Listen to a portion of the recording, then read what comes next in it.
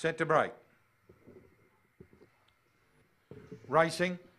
And winning the start in the centre, Movie Fever. Calaboom got out a hard to go through and grabbed the lead though.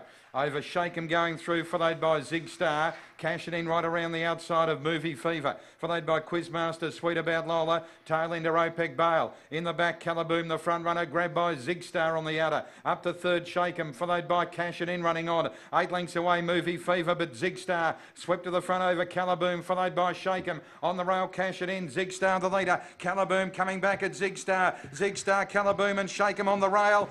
It's Calaboom wide out, I think, winning narrowly to Shakem in a photo. Just in front of Zigstar, who's just wilted. Then Cash It In, followed by Movie Fever, Quizmaster OPEC Bale, Sweet About